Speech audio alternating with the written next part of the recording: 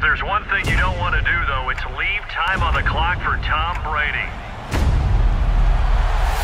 All eyes on number 12, getting them back into Falcon territory and looking to make NFL history.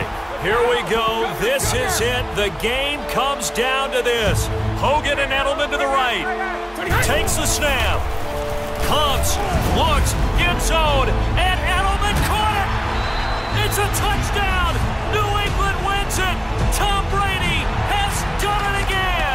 That's exactly why, Brandon, when that drive started, I had no doubt in my mind that Tom Brady would finish this game off the way that he did.